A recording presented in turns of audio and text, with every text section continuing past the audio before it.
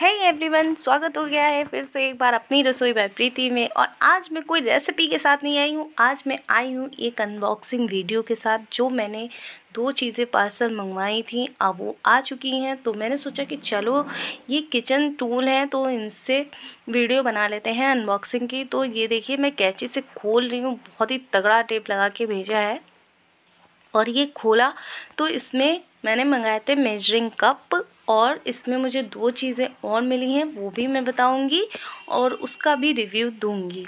तो इसलिए मैंने ये वीडियो बनाई। अगर कोई मेजरिंग कप लेना चाह रहा है, सोच रहा है तो उसको तो उसको एक आइडिया मिल जाए। तो ये देखिए, चलिए हम इसको खोल लेते हैं। ये कुछ मतलब हुक सा दिया हुआ है। मतलब आप इसमें जब काम हो जाए तो आप इसमें टांग सकते हो। तो चलो हम इसको निकाल लेते हैं अभी। तो ये मुझे चार कप इसमें मिले हैं। कुछ टूटा भी है।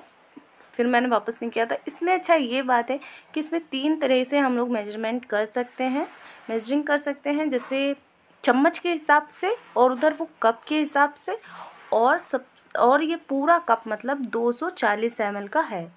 जो एक कप है वो 240 सौ का। अगर हम कोई चीज़ लेते हैं तो वो अगर हमें कोई चीज़ 240 ml नापनी है तो वो इससे हम नाप सक, इससे हम आराम से नाप सकते हैं।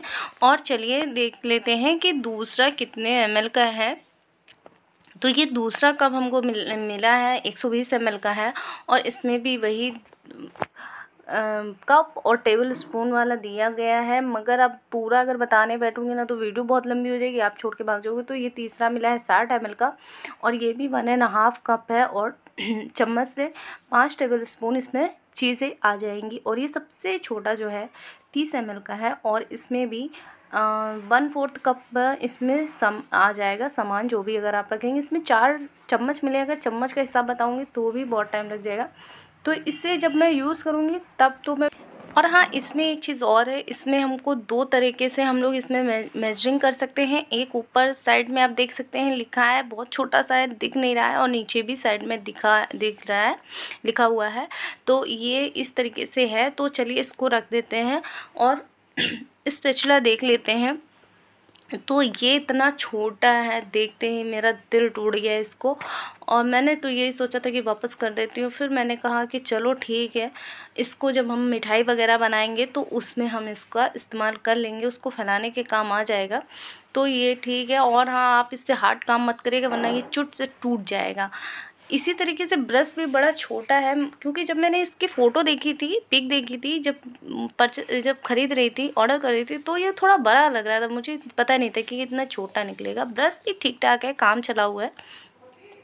और इसके बाद जो है ना, हमने फिर इसको देखने के बाद फिर से मैंने ये दो स्पेशला ऑर्डर किए अलग से तो ये मुझे कॉम्बो में था तो एक पर्पल कलर है और एक ऑरेंज कलर है। इसके ऊपर पूरा सिलिकॉन का है और ये थोड़ा बहुत हार्ड है।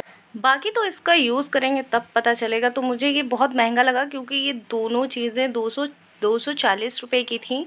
अंदर में जो प्लास्टिक है जो आप देख रहे हैं पर्पल कलर की वो प्लास्टिक जो है ना कि वो बहुत आ, मुझे हार्ड लग रही थी और हाँ ये है कि कंफर्टेबल रहेगा खाना बनाने में। इस तो बाकी मैं जब खा, जब इसको यूज़ करूँगी तो फिर मैं आपको ज़रूर बताऊँगी कि इसमें, को यूज़ करने में कैसा लग रहा है, क्या रिएक्ट दे रहा है ये।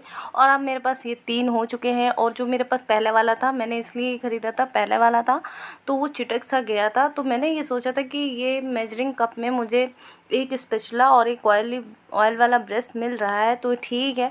बट बहुत छोटा था तो इसलिए मुझे फिर से दूसरा करना पड़ा और इसकी भी क्वालिटी ठीक ठाक है। ज़्यादा अच्छी नहीं है तो बुरी भी नहीं है, खाली काम चलाने के लिए ठीक है और स्पेशला तो वाकई बहुत ही सुपर डुपर हिट है।